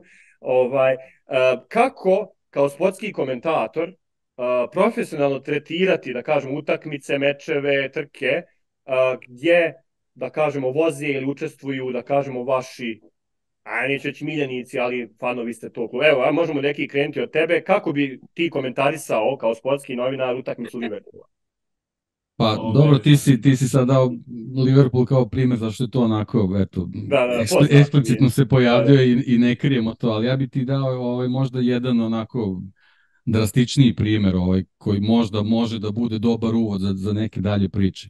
Ovaj, vraćamo se na tu 95. i taj kompromis koji sam spomenuo, ja sam dobio da pratim košarkaški klub Partizan, koji u tom trenutku bio onako samo par godina pre toga svoju evropsku titulu i stvarno je bio eminentan u toj čitavi priči. Ja sam dobio da pratim Partizan za koji su to, u to vreme igrali Nikola Lončar, Predrag Drobnjak, Aleksandar Čubrilo, ne mogu sad setim ko je Mića ko, Berić, Mić, Mića Berić je bio bravo, o, Željko Rebrač i tako dalje i tako dalje. Uh, radio sam sa trenerima kao što su Ranko Žeravica, uh, Dule Vojošević, uh, uh, mislim da je bio Muta Nikolić i tako dalje i tako dalje. Uh, pratio sam Partizan od 95. do 99. godine uh, i dan danas sam uveren da niko od ljudi sa kojima sam radio u, u, u tih pet sezona ne znam da ja navijam za Crvenu zvezdu, na primjer. Znači, stvarno sam se trudio da kroz uh, čitavo to vreme praćenja košarkaškog kluba Partizan uh, maksimalno profesionalno uh, radim svoj posao, uh, što se kroz tekstove ogleda u tome da nijednog trenutka ne smeš da napraviš ni jednu ni jednu navijačku crtu, ni jedan kiks na, na taj način, posebno što ja sam Uh, kao novinar koji pratio košarkaški klub, klub Partizan izveštavao sa dosta derbija u kojima je Partizan bio domaćin, naravno već tih derbija da su igrali Partizan i Zvezda, gde je stvarno bilo jako teško to, to pomiriti, ali jednostavno možda sad ovako kad me ljudi pitaju, ja, ja, ja, ja sad tek, tek sad vraćam taj film, a ja zaista tada ni u jednom trenutku nisam pomislio da, da na bilo koji način napravim uh, uh, uh, bilo kakav izgled gde bi, gde bi taj klub koji, koji, koji pratim profesionalno na bilo koji način oštetio ili napravio bilo, bilo kakav gaf gde bi ovaj unizio bilo kakav rezultat ekipe koju pratim. Tako da meni je to u stvari možda onako naj, najdrastičniji primer toga i moram da kažem, mislim, izuzetno sam ponosan na sebe, posebno što iz tog perioda ovaj, praćenja košarkaškog kluba Partizan imam neke ljude koji su mi onako ostali i, i, i dragi kao kao ljudi koje, s kojima sam sarađivao, s nekima sam čak i prijatelj, recimo kao što je Aleksandar Čubrilo, ja sam uveren da oni dan danas ne zna ovaj, da ja ne da. navijam za Partizan. e, ja imam, ja imam za razliku od Dekija malo drugačiji primer, i, a isto sam tako podjednako ponosan na sebe kao i on, jer ja sam čovjek koji nikad ne bi mogao protiv sebe, jer e, nikad ne bih dozvolio da me da me neko obeleži na način da kaže vidi ga ovaj nije profesionalan ili, ili e, rukovodi se navijačkim stavom. Ja sam partizanovac, ja nikad to nisam krio. Upravo iz tih razloga što sam uvek mogao da, da, da kažem da sam partizanovac i da radim svoj posao e, kako treba. I zbog ugradim kako treba. Mislim da sam, e, imam i tekstove koje čuvam u frankoskim vesti, ja sam dugo godina pratio futbolski klub Partizan i, i bio svedok mnogih ovaj, i poraza i pobeda i ulaska u ligu šampiona i tako dalje, ali sam uh, ta kritika uh, nekako je čak u meni možda bila uh, imao sam i veću želju da, da istakne nešto što nije dobro, upravo iz tih razloga što imam s druge strane i taj neki, ajde da kažemo, navijački odnos. Ne znam da li me razumete. Dakle, nisam krio uh, nikada kroz svoje tekstove ono što mislim da je loše unutar kluba. I mislim da i na tu crtu sam, evo što kaže i Deki, ovaj, jako ponosan, kažem, razlika između meni i njega što, što se e, u mom slučaju znalo da sam partizanovac. E sad problem je bio što su mnogi smatrali zbog toga što sam partizanovac da ja treba da pravim neke ustupke ili da budem tolerantniji u smislu nekog kritičkog stava. Ne, upravo sam ja isticao da sam partizanovac, ali, sa, ali e, moje, moji tekstovi ovaj, E, čita, neko čita moje tekstove, rekao bi ovaj je zvezdaša. Kod nas tako postoji stvari. Kod nas je, kod nas je ovaj, mi moramo u svemu da se delimo, pa se onda delimo i kada su u pitanju ti neki ovaj, e, navijački ovaj, pogledi, strasti, Uh, ali kažem, uh, nemam ovaj trunku žaljena ni za jednim tekstom koji sam napisao u vreme kada sam kada sam ovaj, bio zadužen za sektor futbolskog kluba Partizan. Vidi, ja ništa slično nisam imao, ja sticam okolnosti, tako da ne mogu da se dođem na, na direktno, ali na, ne znam da li, ajde, ne znam, studenti da li su primetili dve reči, to je stavno se prolači jedna te ista da reč, zapravo kao ključnu u celoj priči, to je profesionalizam, a to podrazumeva, vratit ću se na nešto na što možda nismo odgovorili, da bi bio novinar bilo čega, moraš pre svega da budeš novinar. Dakle, to je prva stvar. Apropo ličnog brandinga, sve se spaju u jednu te istu priču. Kako ti gradiš reputaciju i svoje renome? Kroz svoj rad. Ne kroz ono što si ti nekome rekao, nego kroz ono što si konkretno napisao, prokomentarisao na TV-u ako si komentator, da ako si, ne znam, novinar na televiziji kroz svoju reportažu i tako dalje. Tvoja dela je ono što govori o tebi i stvara reputaciju i renome o tebi. Da, ima i taj lični moment kako se ponašaš i kada su svetla kamera i kada su kamere pogašene ili kada ne pišeš, ali 75% je ono što si ti poslovno, profesionalno uradio. Ako se vidi da ti nisi profesionalac, to je tvoj renome, to je tvoj lični brend, to je tvoj pečat. I jedino što može da govori u prilog tome da li smo mi radili dobar posao su publika u kontekstu toga što može da kaže ej, ovo je dobro urađen posao, mada je publika, pa ne moći reći ostrašćenija, ali možda dolazi, prolazi, nisam sigurno da je to pravi termin, i imaš klubove, to je sportiste koji takođe mogu da daju to mišljenje. I jedna od čuvenih rečenica, makar za meni, ne mislim konkretno o, o sebi, već generalno sportistima, možda se ne slažem s tobom, ali te poštujem. Poštujem tvoj stav, tvoje mišljenje, tvoj profesionalizam, I apropo te priče, dobiješ, ja ne mogu da se stavim u njihovu kožu, ali dobiješ neku situaciju u kojoj ti bi možda mogao da imaš navijačke strasti, ja čak nisam imao ni, ni, ni situaciju u kojima sam mogao da komentarišem, ne znam, reprezentaciju ili nekog domaćih sportistu, ali znam koliko je, samo da se razumemo, meni bitna moja reputacija, mnogo mi je bitnije od te percepcije nečije da ja treba da navijam. Sad banalizovaću ti, ali da prenosim, da komentarišem meč Novaka Đokovića, da, raduje me da Đoković pobedi i da on uradi nešto, ali moj posao nije da se radujem njegovoj pobedi, moj posao nije da budem navijač Novaka Đokovića, moj posao je da komentarišem ono što je sport koji ja komentarišem. I ja ću to da uradim za sebe, jer kao što je Novak Đoković važniji samom sebi, tako sam ja samom sebi važniji od Novaka Đokovića i mu neću da dovodim moj profesionalizam u pitanje. Ali mislim da je to osnovni postulat profesionalizma generalno, ne samo novinarstva, s tim što se mi bavimo novinarstvom. A da, i odnos taj koji ljudi imaju, znaš, to ti je ja u mom primjeru ovaj podcast pod kapicom, to je meni najveća satisfakcija kada imam preko puta sebe te asove koji su obeležili istoriju srpskog, ne znam, jugoslovenskog, hrvatskog, crnogorskog vaterpola koji dolaze koji dolaze sa, sa entuzijazmom ovde, dakle imaju, imaju želju da budu deo tog podcasta. E, to onda meni govori o tome e, kakav je taj podcast, e, e, kakav sam posao uradio moje koleginice i ja i šta njima, šta njima to predstavlja dolazak u ovaj studiju. I, i tu je onda, to, to, ne, to ne može da plati ništa, bukvalno. To je, to je ta neka satisfakcija profesionalna koja, koja, je, ovaj, koja te negde ispunjava i prosto te tera da ti nastaviš da ideš dalje, da ideš dalje, da, da negde pomeraš granice, da, da, ovaj, da sebe profesionalno ispunjavaš svakim danom e, što je moguće više. Pa evo, u, u tom kontekstu, evo da se nadovežemo, da nekako ima se neku zajedničku cijelinu, a, vi suštinski ste svi dio, da kažemo, jednog od podcasta, to je Lab 76, imate naravno znam i druge a, i druge emisije. Međutim, mene interesuje, naravno, vjerojatno će Srđan tu da pokrene priču jer je tu od početka.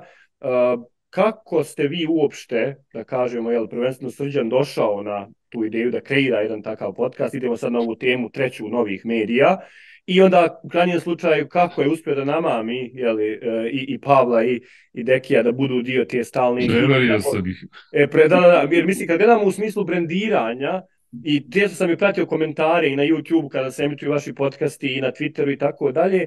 Nekako imam, e, naravno, iako ljudi poštuju uvijek, bez obzira kakva god je situacija, ako, je, ako ste dvojice ili tako nešto, međutim uvijek svi ono komentaršu, najbolje emisije su kada ste sva trojica tu.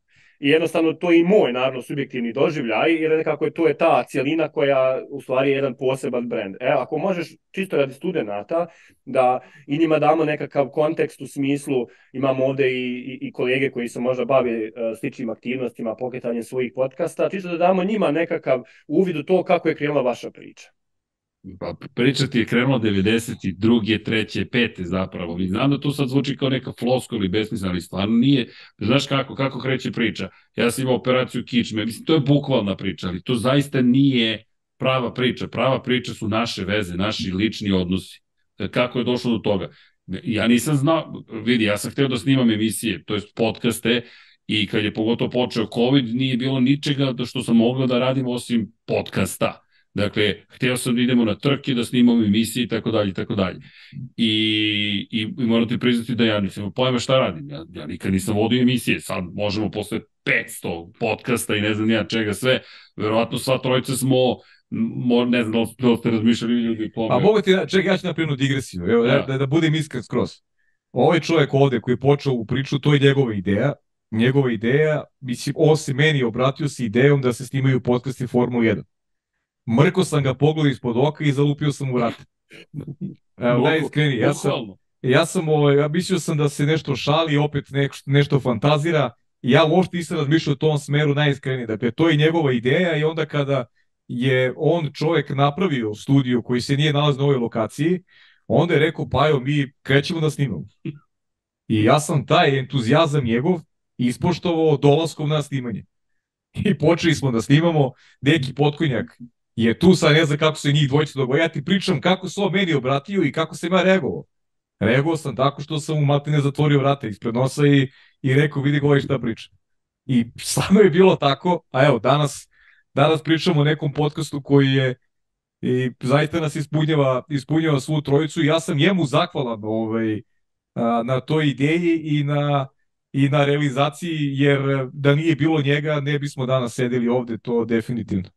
Ja moram da priznam da nemam pojma kako smo, kako smo ovaj, se spojili, ali generalno ja iskreno stvarno nikad nisam nešto spektakulno razmišljao o, isto. o pojavljivanju na, na internetu, društvenim mrežama i tako dalje i tako dalje. Ja sam 2019. pokrenuo magazin uh, koji ovaj treba da se bavi sportom. Znači, zvao se, zvao se Sport i to je bila moja današnja želja, jednostavno da pokrenem novine koji će se pre svega baviti ljudskim dostignućima uh, i, i to u sportovima koji, koji nisu toliko zastupljeni, međutim onda je krenula korona pa se to sve, sve malo ovaj, uh, poremetilo, došlo je do nekog zastoja ovaj u daljem izdavanju magazina i onda je krenula korona onako ozbiljnije da nas drma sve i u jednom trenutku je usledio poziv, ja sad ne mogu da se setim da li, da li ne znam uopšte kako smo stupili u kontakt i u nekoj 19. epizodi, recimo ja sam gostovao kod Srđana,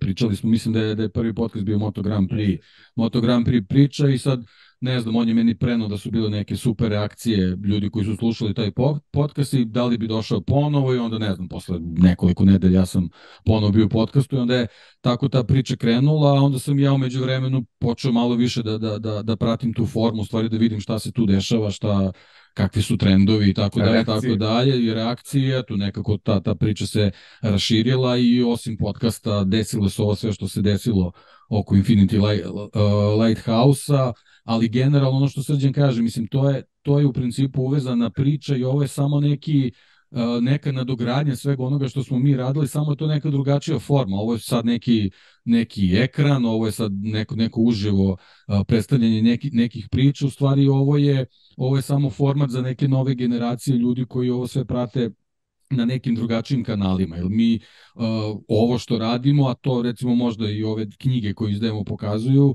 ovaj, uh, samo smo pokrili jedan, jedan segment onoga kroz šta možemo da, da, da se izrazimo. Je sad, što se mene tiče, verovatno i pa i srđani ipak u tim digitalnim medijima mnogo duže od nas i to mu stvari i jeste nekako ta, ta vokacija ko, ko, koja, koja ga trenutno pre, preokupira, tako da ovaj, mislim da, da, da smo se u stvari samo ukačili zbog toga, kao što je Srđan rekao, samo smo u stvari nastavili neke naše saradnje koje traju, da, to da, više decenije unazad, samo u nekoj novoj formi. Mm. Da, jako bitna ta nadgradnja na podcast je to što ovaj, Srđan ja komentarišemo u Formuli 1 pre, pre pokretanja podcasta već 8 godina u tom tako momentu, tako da imamo neku publiku koja je uz nas, a pritom deki koji auto, motosport prati, eto, manje više od kako je počeo se bavi novinarstvom, ja, ja kad je u pitanju da kažem, znanje vezano za auto, motosport i to, mislim, deki,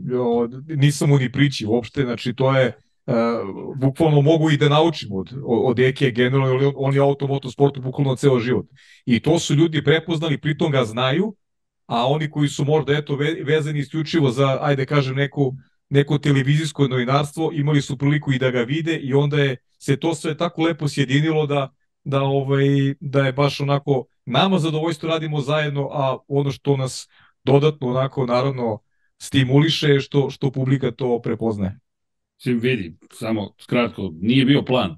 Zaista nije bio plan. Plan je bio ajmo da radimo nešto. Ja sam imao želju, potrebu da radim nešto i bio ubeđen da mi to nešto treba da radim. Sveća se moj prijatelj Dušan koji mi rekao, Srđane, nemoj više da čekaš, nemoj posle ti bude žao kad neko drugi to bude uradio, iskreno. I bio sam u fazonu, jao, opet ću da čekam dok ne, neko ne bude, ne, nije mi se to često dešavalo, mi se dešavalo u životu, neko uradi nešto, ja, to sam ja smislio još pre pet godina, dobro što nisi uradio sedi i radi. I to je račuvena poruka, zapravo neću da promovišem Nike, nema potrebe s time, ali just do it nije idi pobedi, nego idi radi. Dakle, smislio si nešto uradi, dalje teško.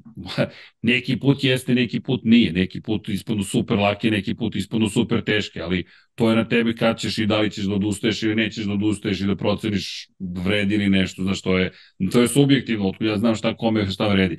Ali da ti kažem kako, su, kako bio plan sa neki makijavelijevski ili maestralni u, ne znam, mojoj glavi, kako ćemo mi da se okupimo, mene je bilo sramota da ih pitam više da dolaze jer oni ljudi dolaze na entuzijazam, ja kažem, Deki, hoćeš još jednom. I onda mi Deki, Deki koji mi je rekao, ej, Srki, meni je ovo zadovoljstvo, ja dođi mi pričamo, rečemo što volim, jer ako bismo pričali o ovome, i što se tiče, pa, znaš, nas dvojica koji nastavljamo da radimo vikendima i sad sve više pričamo o podcastu. Ja ne znam, ne znam da se slažem, meni je podcast pomogao da budem bolji u onome što ne, radim. Dragi studenti i Borislav, ili vi vidite da mi uh, e, 30 godina smo u poslu, a mi pričamo o entuzijazmu. Da, naravno. Dakle, dakle, mi smo i ovo pokrenuli sa entuzijazmom. Mi nismo imali neku platformu koja nama ovaj, omogućava da, da imamo neka, neke prilive novca i da možemo da, ne znam, uh, da uživamo u tome što ćemo, ne znam, zaraditi nešto. Ne, nego mi smo iz nekog entuzijazma seli za evo ove, za ove 100 veliki i ovaj i počeli da emitujemo ono što volimo, ono što ono što osjećamo i i to je to. Dakle, suštinski, ono, e, naravno, svrnut se malo kasnije na tu priču, ali volio bih isto, evo, sređene iz tog tvog e, početka, pošto si ti to pokrenuo, iako znam dio te priče, um, šta je bilo potrebno tehnički da ti pokreneš taj podcast? Dakle, šta je bilo najvažnije? Šta je bilo? Upornost. Da, odlično pitanje. Da. Upornost i znanje. Na, novac svakako. Čisto da znaš, ono što mi pokušamo da postignemo, jer ni jedan ni drugi ni treći, mi nismo, ne znam da li je to generacijski ili kulturološki između nas trojice, vjerojatno kombinacija, ali mi nikad nismo kretali makar koliko, ha, vidi što mi stavio se staro. da, da. Da, da, ima tekst. Čisto da se razumemo, ovo je jedan od mojih urednika. Da, on je čovjek koji mene angažovao još 2000 neki da pišem zapravo za, kako se zvao? 2002. da, Automoto, je li tako? Automoto, Automoto Sprint. I, I nije ovo naša prva saradnja. Kažem ti, to je prvo, prvo prepoznaš neki pričaš, pa pa ja kad smo počeli da pričamo o nekim stvarima, uh, ako nema, znaš kako to zovu u biznisu, chemistry, meeting, da li postoji hemija? Postoji, makar za mene, meni je, ja, ja, ja, ja znam, na primjer, dobro, sad se viđamo non stop, ali ranije kad se napravi pauza između sezona, novembar, mart, meni pa je nedostaje, jednom trenutku, ja kad ga vidimo, kad vidim, ja sam fazono, ej, moji stari dobri prijatelji i ja smo ponovo zajedno. Tako je bilo s Dekim, nismo se videli par godina, to jest, a čuli, sreli smo se zbog sporta, to jest Deki je rekao, imam ideju, ajde da napišeš tekst na NFL-u, ja napisao tekst, naravno kasnije sam, standardno moje. Moje da Deki... kasnije, mislim, stvarno. Da, da, ne, ne. Nemoguća misija. Da, da, da. Ali, ali izdržao, znaš, ja sam uvek vadio, danas se da dovoljno kvalitetno da sam se izvukao, ali Deki znao da ću kasniti, on je meni dao drugi datum na ono što je stvarni datum, naravno, pametan čovjek. I naravno, jedva smo opet i tako stigli, ali smo stigli. Elem, pojenta je bila da, da reč o pokretanju, zaista Ja nisam imao pojma ništa o tome. Koliko god da smo mi dugo u novinarskim, televizijskim vodama, mi ništa o tome nismo znali. I, kre, i krećeti bukvalno korak po korak. Ako neko možemo da ubrzamo proces dolaska od toga da može da radi, tehnički šta je bilo potrebno. Evo, ja mogu ti kažem šta, je, šta bi sada rekao nekom ako pokreće svoj podcast. Očigledno mikrofon i kamera i osvetljenje i da budeš na, na toplom i suvom, jer su prvi bili snimani napolju, pa kada počne kiša sve ti padne, bukvalno izvinjam se u vodu, ali apropo mikrofona, neki dinamički mikrofon, audio interfejs, audio interfejs za one koji eventualno ne znaju, uređene koji nakačite mikrofon, a onda vam ono omogućava lakše spajanje sa računarom, bukvalno to mu je uloga, audio interfejs, i topa preporuka se koristi interfejsi, ako nemate para za, za neke ozbiljnije miksete, čak bi i miksetu preskočio u celoj priči, imate digitalne miksete u okviru softvera koji ćete dobiti uz audio interfejs. I pored toga, što se tiče kamere, možete i sa mobilnim telefonima da krenete. Mi smo prve podcaste snimali mobilnim telefonom i GoPro-om zapravo. I šta ti je potrebno? A citirat ću Stiva Martina, mašta.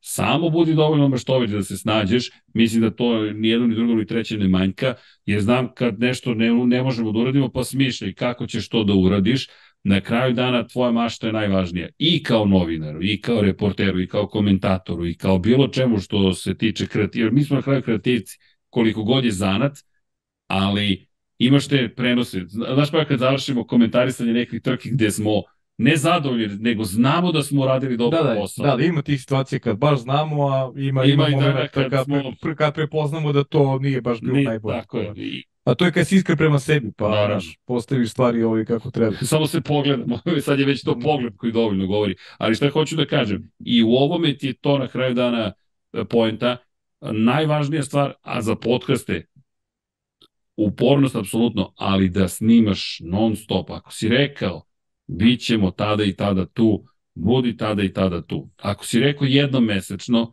neka bude jednomesečno. Ako si rekao dva put mesečno, neka bude dva put mesečno. Tako je. I ako menjaš, to dođe godišnji odmor. Mi prvi godine čak nismo imali godišnji odmor, ali normalno je da odeš na zimovanje, letovanje, da malo odmoriš, da ti se mozak resetuje, to je normalno.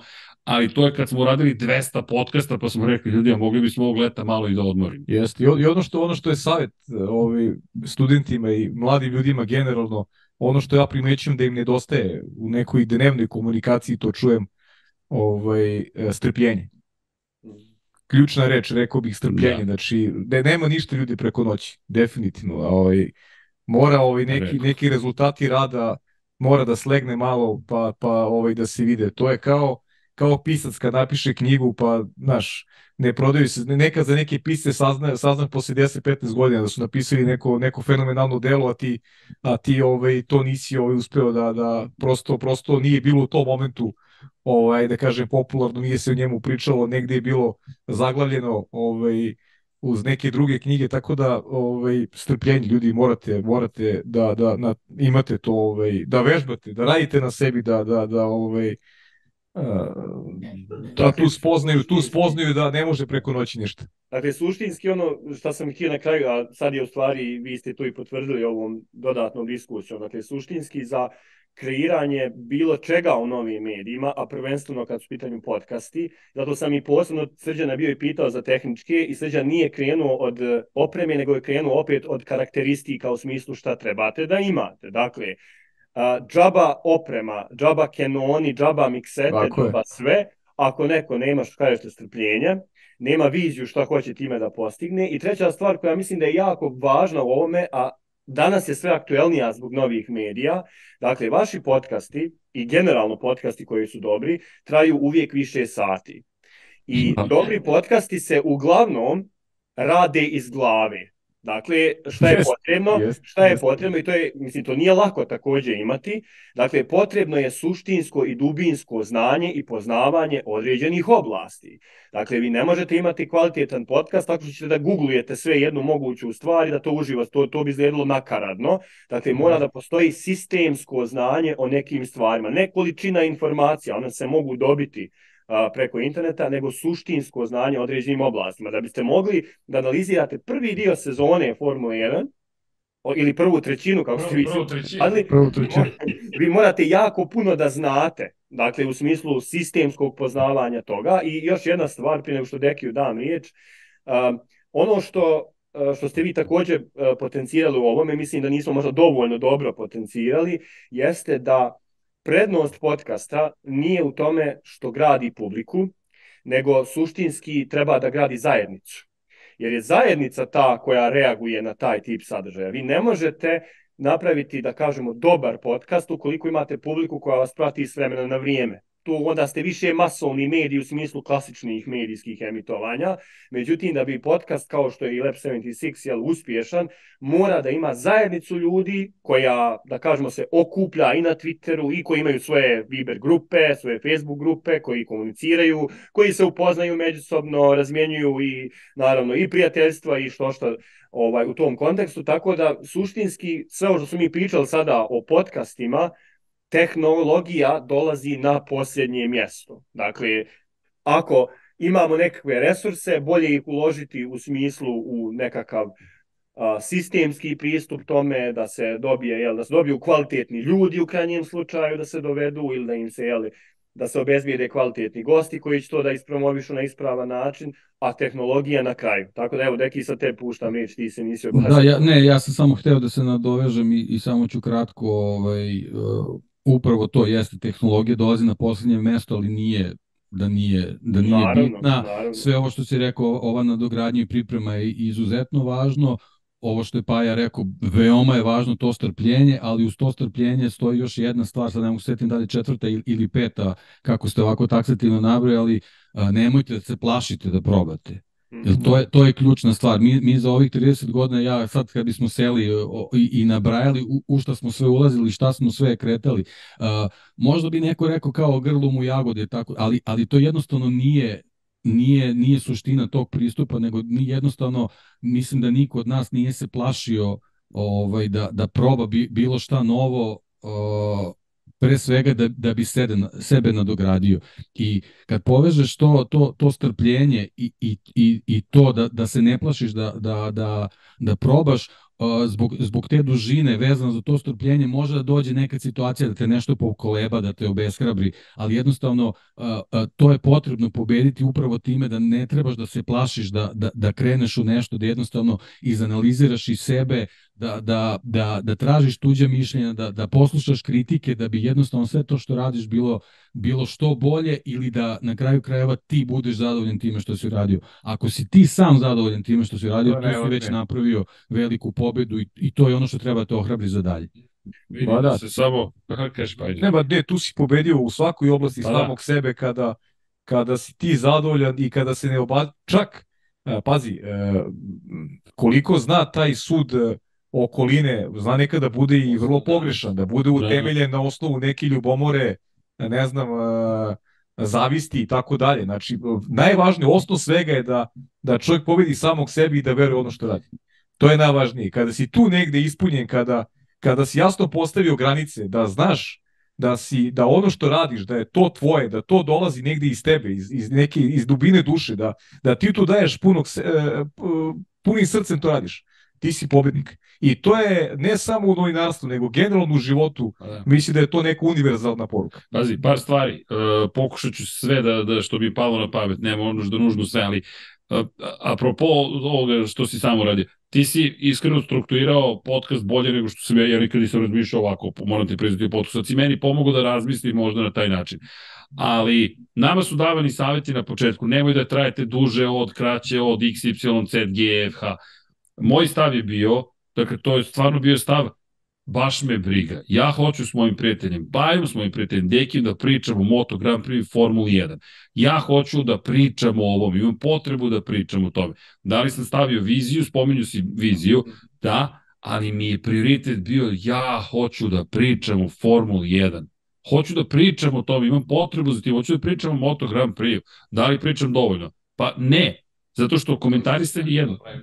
Ta, tako je isto što deki, deki su rekli nemoj ovo da radiš. Svi, ne svi, većina, ali koga briga? Znaš, ja iskreno, moram ti reći, znaš, znaš što mi je jedna od najprostijih stvari koju ja osjećam, što sam naučio da Paja zapravo voli vaterpolo. Jer nisam imao pojma da Paja sedi s čovekom 10 godina, toliko zna i voli vaterpolo.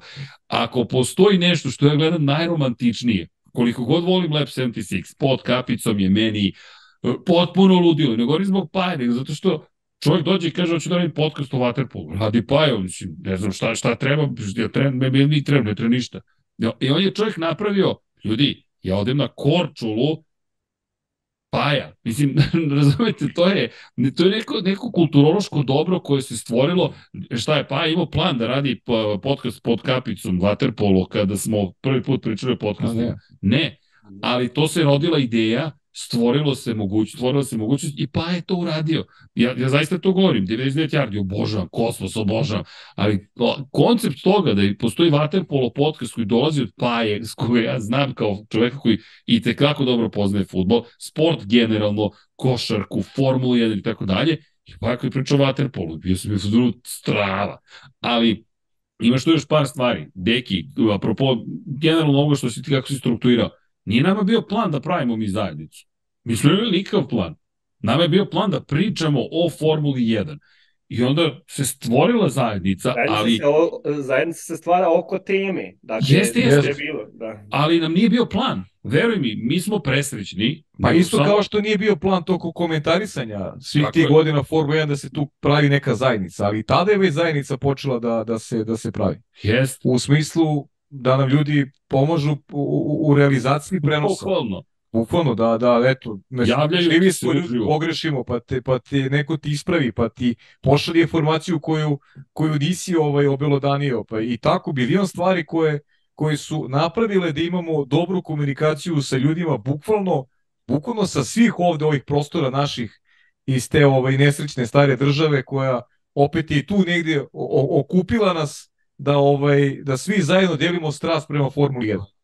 Pa da. I to je I, bukvalno najveća stvar. I, i, I ono što je iz ove perspektive e, bitno jeste podrška prijatelja zapravo, jer na kraju dana znaš kako počinju svi startupi. Friends, fools and family. Od njih počinje, od prijatelja koji će te podržati samo zato što su ti prijatelji, od ludaka, neću reći budala, to nije pravi termin, ludaka koji su u fazonu, wow, to nešto radiš super, i porodice koja, šta da radi, morate trpi zato što morate trpi. Tako kreću startupi, ali to su ti ljudi i oni će biti na početku i na kraju uz tebe. O, ostali će možda ostati, a možda i neće, ne znaš, ali ovi ljudi će uvijek biti uz tebe. E sad kad se stvori zajednica i ti shvatiš da ima još ljudi koji su uz nas Či, zašto? Nemam pojma. Mi dobijamo juče grafikone bolje nego što ima većina televizija na planeti Zemlji koje je neko napravio. Tako je, zato što osnova nije biznis, nego ljubav. Da li mi pokušamo da izbalansiramo sa biznisom? Ne, nismo mi biznismeni, ali mi pokušamo da održimo Infinity tako da zarađujemo dovoljno novca da ovo i dalje postoji to što Deki rekao. I jedna bitna stvar, Ameri kažu, it ain't about the equipment until it's about the equipment. Mm -hmm. Ili ti, mikrofon, ako ćete da investirate u nešto za podcast, mikrofon je najvažnija stvar zajedno sa audio yes, interfejsom. Jer ne mora niko da vas vidi, ali mora dobro da vas čuje. Ako vas loše čuje, u ogromnim ste problemima. Moja, ako bih dao preporuku tehničku, zvuk, zvuk, zvuk, zvuk, da što kažem dinamički? Dinamički kupi, ovo je, ovo je kardioid, to je oblik srca. Evo, deki se ne čuje sa strane. Superkardioid je još bolje ako ste u bočnoj prostoriji. Hiperkardioidi takođe mogu, ali oni imaju posla poziv. Pogledajte na slici za mikrofon oblik odakle zvuk kupe sve. Ako ja odem ovde, već ćete me slabije čuti. Ovde ćete me bolje čuti. To su pevački mikrofoni. U to investirajte. I da, treba vam oprema. Samo da se razumemo, mi smo mnogo investirali kasnije u opremu da poboljšamo neke stvari, ali to je proces. Mi nismo imali sve ove kamere na početku. Nismo imali, kad je COVID došao, nisu mogli da nam stignu kamere, a smo uzeli GoPro, uzeli smo telefon, nakačili šta smo imali. Sećate, nismo imali sve ove kamere. Da, da. Ni, ni, nisi imao opremu. Znaš, tako da, o, vraćamo se što, ali hoću ti kažem jedna, bit, jedna bitnija stvar. Ljudi, ja sam samo imao sreće da znam njih dvojicu i da se to potrefilo tako. Naravno, e, privlačiš određene ljude, Tako je. I ne samo njih, njih dvojica, što kaže Deki. Tu je koleginica iz prodaje koja bez nje nema, ne postoji Infinity. Nema, pro, nema prodaje. Nema prodaje. imaš Vanju koji je čovjek donekli iza kulisa, imaš Petra Imaš sve koji su prošli ovde. Andrej Isaković da nam nije pomogao, Hasan Bratić da nam nije pomogao, Igor Marković da se nije pojavio. Ne znam ko nam sve nije prošao ovde, sportisti, kod Paje, potpisivali nam se na zid šampiona. Pa Đoković ne bi bio zahvaljujući Viškoj Govedarici mesec dana posle otvaranja studija u studiju. Zašto je šok, ti si napravio... Da, u onom starom studiju. Da. Tako je, dečiju sobu, de facto, i Nova koji dolazi, kaže, što mi strava ovde? Nije loše, znaš, nije Znaš, Maverick Vinjales nam je preko Zuma bio, bio ovde. Imali smo čak i Valentina Rosija, samo što to nismo smeli da snimamo. To je bilo za novine. da, to je da. bilo bizarno. Ali to su ljudi koji su prošetali ovako i onako kroz studio i veruj mi, nisu oni bili to, bili to što, aha, vi ste Sky, britanski, vi ste veliki, pa sad ja moram da dođem ovde. Ne, Vinjali se prokomentari su, u što ovo mi je cool studio. Ne, to su, to su Borislave, to su dragi studenti, to su odnosi, ono što smo pričali iz početka. Da, tako je. Znaš, to su odnosi. E, Znaš, to je najvažniji segment, odnosi, da imaš, da, da, da napraviš odnos kada, da, kad pozoveš neko da kaže, aha, ja hoću tamo da se pojavi. Zato što ti ljudi zaslužuju ili negde iz nekog mog sistema vrednosti, ovaj, oni su ti gde ja treba da se pojavim i gde će mi biti drago da, da, ovaj, da, da, da ispričam neku svoju priču. A Evo, to je to. upravo na tom, na, na konto toga, recimo, čuo sam jednu jako zanimljiv savjet, upravo kad su pitanju podcasti i to, kao ako gosta pozovete i ako vas gost pita koliko imate pregleda, nemojte ga zvati. Dakle, to nije da. pravi gost za vas, znači njega interesuje da, da. bude znači nemojte ga zvati. Dakle, to je po meni jedna. Ali evo sad prije, e, pošto se bližimo kraju, daćemo mm. naravno i priliku i drugima da nas pitaju, imamo još, gledat ćemo da ukalupimo sat i po kako smo dogovorili na početku.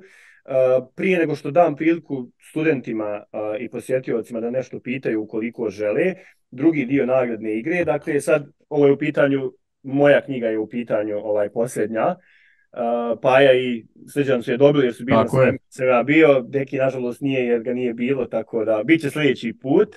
Uh, dakle, ovdje će opet će biti jedno nagradno pitanje, s tim što ima sad jedna mala, da kažemo, caka. Dakle, oni koji imaju knjigu i oni koji su već osvojili ne mogu da učestvuju. Dakle, da ne da vi dvije, a da niko nema ništa. Deki.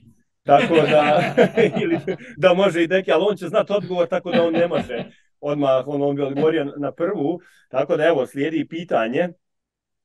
Uh, ovo će možda čak i biti možda teže, tako da vidjet ćemo. Ova, ne da je moja knjiga bolja, naravno, ne govorim o tome, nego... Ma ne, naravno. Tako mi palo, dakle, pitanje je, ali imat ćete na zaokruživanje, što se kaj možete lupati. A, dakle, pitanje je, koji od ponuđenih vozača je vozio za Ferrari? I sad ću počitati koji su ponuđeni. Kevin Magnussen, Nico Rosberg, Jarno Trulli ili Giancarlo Fisichella? Kolega je prvi odgovorio. Pa da, o, čuo sam ga odmah, da, da. Ispalio je Giancarlo. da.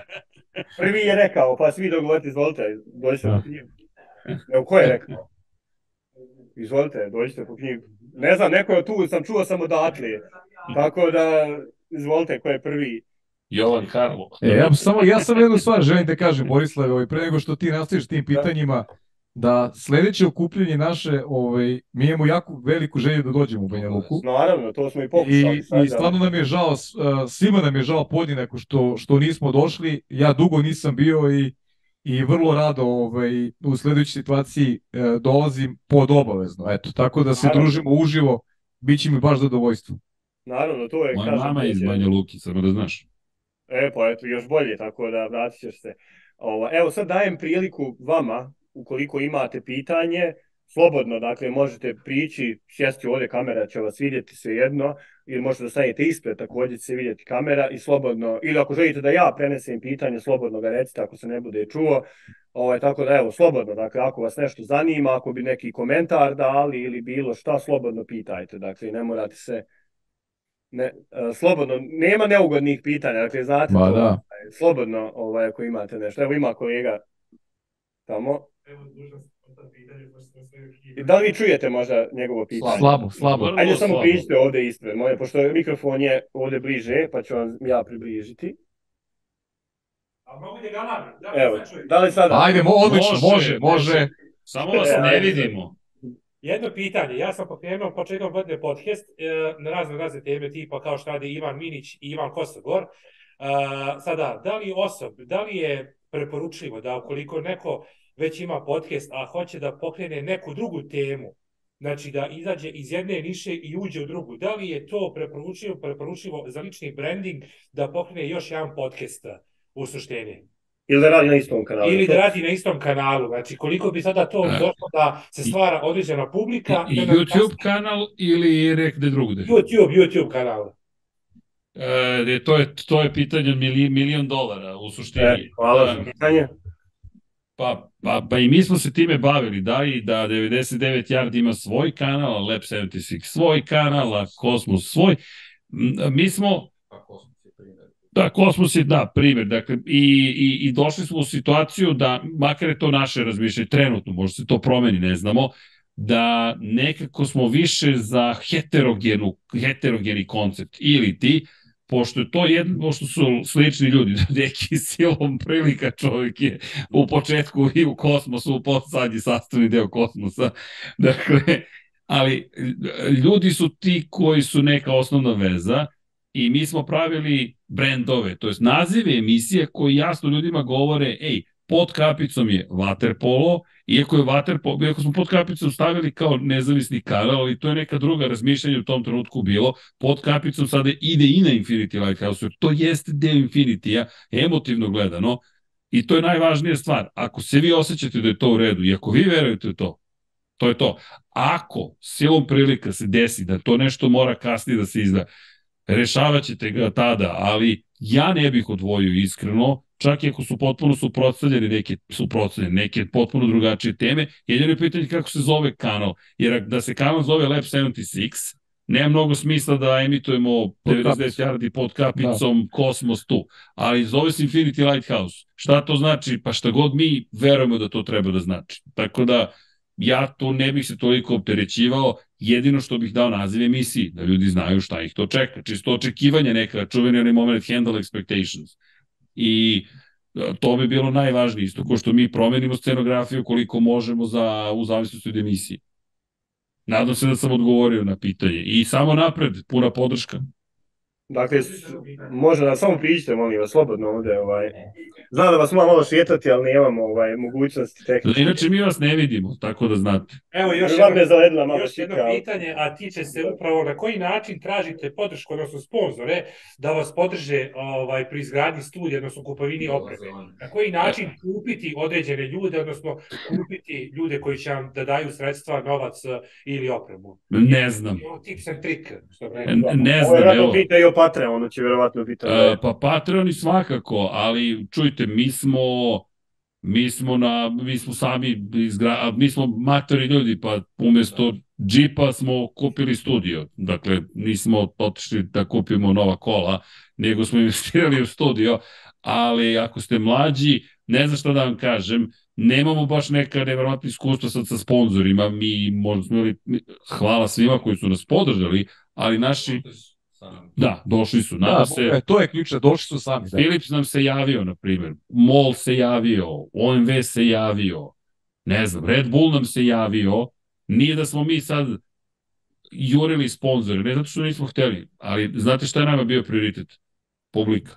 Da mi uradimo podcaste kako treba, da mi majci su nam postale važnije. Da li mi možemo da zaradimo više ako jurimo sponzore? Gotovo sigurno ali... Borislave, ti si rekao jednu stvar, malo pre jako lepu, ovaj, vezano za ako, vam gost, ako vas gost pita koliko ima pregleda, da neće doći da nije pravi gost. E, ali sponzor, sponzori gledaju da. broj pregleda. Znaš, Naravno.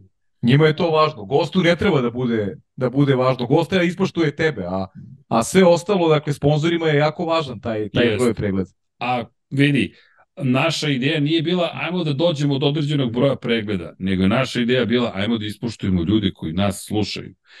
Jer verujemo duboko da je to osnovna izvinja se stvar, a sve ostalo je rezultat. Ako dođe gledanost, to je rezultat našeg rada koji mora da kreće od toga i stvarno nije priča, ono što mi stvarno se tako to ponašamo. Pritom sređeni koliko je trebalo, koliko prošle vremena kada su počeli sponzori da se javljaju. Pa, nije to bilo možda čak ni u prvoj godini. Pa, mi smo imali jedno možda sponsor u prvoj godini koji se javio, to je bio Philips bio u prvoj godini. Mol, mol, ne, mol, mol, mol, mol, mol bio. Godini, da. Ali to je bilo na nivou simpatični ste nam. Nemate rezultate, ali čak i to im je bilo, apropo toga kako da se... Tako je, poruka Jest, podcasta. Poruka podcasta je bila bitna i to je to je ono što je pre svega i nas ohrabrilo za, za, za čitavu ovu priču. U tom trenutku čak ni taj finansijski moment nije toliko bio bitan, ali ono što je Srđan rekao za, za to samo pokretanje čitave priče. Naravno da idealna situacija da, da ti možeš pre svega tehnički da se opremiš o, ono, maksimalno sve što ti treba, ali to, to stvarno iziskuje ovaj ogromna sredstva i mislim da je ono ono što je Srđan rekao jako bitno, ne treba se toliko fokusirati na, na, na tu tehniku i to to obezbeđivanje svega do, do sitnih detalja. Treba obezbediti ono osnovno da, da se krene u priču, a kad kreneš u priču i kad ljudi prepoznaju da je, da je priča prava, onda to može da se, mislim, naravno nije, nije to sad recept za, za, za, neku, za neku, neku sigurno širenje, ali dobra priča i dobar koncept može da, da se proširi tako da te ljudi sa strane koji čak nisu i u nekoj bliskoj vezi s tobom prepoznaju da kažu, evo kao što nama Mola rekao, vi ste nam simpatični, želimo da vam pomognemo. Tako da tu, tu ne postoji sad neki, neki recept i, i, i, i, mislim to je isto vezano i za ovu priču kad sam ja pokretao magazin. Znači ja sam to, napravio sam biznis plan bukvalno za, čitavu godinu, to, to je bila stvarno ogromna cifra, ali ja sam želeo to da uradim. Ja sam krenuo to i pre nego što sam završio prvi broj, ja sam već imao nekoliko prijatelja, poznanika, ljudi s kojima sam sarađivao u nekim drugim oblastima koji su ušli u, u, u oglašavanju u novini u tolikoj meri da sam ja skoro 100% štampe prvog broja praktično već imao pokriveno. Ali to je Uh, to je jednostavno nešto što smo mi uradili sa godinama i eto sa, sa tim nekim iskustvom i s tim nekim, nekim rejtingom dođeš do toga. Ali kad, kad ulaziš u nešto novo, najvažnije je da imaš dobar koncept koji će imati dobru poruku. To, ja mislim da, je, da su te poruke u stvari najvažnije stvari podcasta. E, baci pogled na, na razvoj, ne znam, biznis priče, pogledaj prvi podcast kako izgleda, kako izgleda sada. Pogledaj Joe Rogana. Pogledajte Joe Rogana, svi, svi žele da budu Joe Rogan. Roganov prvi podcast, ljudi, ja ne znam da li neko pogleda njegov prvi podcast, to je cirkus. To je, to je bukvalno cirkus. I nije kamera dobra, zvuk nije spektakularan, ali i njega ako poslušate, poruka je dobra, njegov stav je dobar, on kao on je dobar. I onda dolazi ta priča, to onda se vrti. Da, ali samo da se razumemo, iza kulisa ima mnogo posla. Mnogo posla ima iza. Nije to, mi gledamo da olakšamo sebi život, da je sve više stvari automatizovano, ali Takva nam je priroda, kad se otvori mi ćemo da radimo nešto drugo s tim vremenom. Ali ne poruka koju ti negde izgooglao i negde si pročito to je dobra poruka, nego poruka koju ti nosiš sa sobom. Znači nešto što ti imaš u sebi. U šta veruješ. U šta veruješ, to je ta poruka. Jer ti možeš da, možeš da prevariš publiku možda jednog i da kažeš aha, nešto sam dobro pročitao ali ti ti treba tu poruku da da širiš i kroz drugi podcast, treći, to se prepoznaje, to publika da, prepoznaje. I... Najvažnije je to što emituješ, to je najvažnije. Opet nije garancija I... da će to da bude ovaj to, to, nema formule za uspeh. Ej, da će to biti uspešno, ne da. postoji. Evo, ja sam juče nabasao na tipove koji imaju video klub, ne znaju da glume, ne znaju da fejkuju emocije. Imaju svoj video klub, skinu sa polica video kasete, puste i smeju se starim filmovima. I to traje satima, oni imaju po 5 miliona pregleda. Neko će kaže, pa znaš što je u Americi. Imate kanale u Srbiji, lekovito bilje, koji imaju po 5 miliona pregleda. Čovjek priča o bokvici, kako da se lečite bokvicom. Ali, on je čovjek našao neku svoju publiku. Pa to je onaj tip, ja ne, ne znam kako se zove, to vi znate, ja, ovaj, onaj tip što što šalje ljude, plaća im put da, da mu donesu, ne znam, iz Londona i da, da, ima da. kameru. Znate o čemu pričam? Znam. Ne znam, donesi mi, ne znam, ovo neko maslino ulje iz Londona i plati ti put, ali te to snima kamerom i to ima brutalne preglede da, da. ima. Da, to nije novinarstvo, ali, ali, samo ali... hoćemo ti kažemo, ako ti u nešto veruješ, ej, to je tvoja vera u to nešto. I, Tako je. I to je jedino što je bitno. I ono što Paja govori, ono što Deki govori. Originalnost, autentičnost i to, to ti to. Agelast, evo, mi sedimo sa, sa malo, malo pa sednemo sa Agelastom, to je naš drugar. On je, njemu su isto govorili, nećeš valjda da, da kreneš tim putem, pod, podeš podcaster sa 30 i nešto, evo, možeš i sa 40 i nešto. Znaš, zamisli da nekom pošaljem plan. A, mi smo novinari koji imaju 30 godina radnog iskustva i počinjemo inovativni podcast koji će se baviti temom Formule 1. Ako tako ga svedeš, ko veruje u nas? Niko i onako nije verovao da ćemo ništa da uradimo. To nije bitno, mi se time nismo bavili. Nama je bilo zabavno, to je, to je pojenta. A onda dalje vidiš kako ti se stvaraju, slažu kockice. Naravno, mi to, to bi trebalo biti, ja mislim, i poenta, evo, pošto smo da. vrijeme, ovaj, mislim da bi to i trebala biti vjerovatno dobra a, e, i poenta jednog ovakvog i, i druženja, upravo to, da bez obzira čime se bave u ovom slučaju pitanje novinarstva, jel, u suštini prije svega dolazi neka strast za nečim, dakle ljubav prema nečemu, da nešto stvarno volite da radite i onda će sve ostalo će se posložiti oko toga, naravno, ne može se ništa može preko noći, Tako da bih vam se ja svakom slučaju zahvalio i nadam se da će ovo biti prvi od ovaj, od, od, od ovakvih događaja. Evo, ja, pustit ću vas, ajde, pošto ja... Imam jedno pitanjci samo, a je li publika zadovoljna? Publika čula šta je htjela da čuje? To je ono... Ja se nadam da jesu. To je glavno. Ovaj, mislim, ako, Ti si ako, profesor, pazi, ne, tebi će da kažu 100%. Ne, pitaćemo, naravno, pitaćemo da. i kad dođemo, pitaćemo i kad dođemo. Ne, kad dođete uživo onda i pitajte kad ja ne budem tu. A maš, maš. Tako da ne bude nekog utjecaja, jel? ovaj, sa strane. Tako da u svakom slučaju vama hvala puno uh, za ovo druženje i sljedeći put ćemo pokušati naravno da se okupimo uživo i da ovaj što se kaže uživo onda razgovaramo o ovim i sličnim temama. Tako da vam se zahvaljujem još jednom i ovaj, nadam se da, da ste i vi uživali kao ja ovih sati. Jesmo, uživali smo. Hvala tebi Borisle, hvala studentima i držimo ovaj palčeve da, da istrajete i da, i da budete svi dobri novinari i dobri ljudi, što je još važnije. Naravno, hvala puno, evo. Hvala. Hvala, hvala svima. Hvala ništa, mi gasimo i ovih koji su nas pratili preko streama također pozdravljamo i vidimo se. Ćao, čao, čao, svima, čao, čao. čao.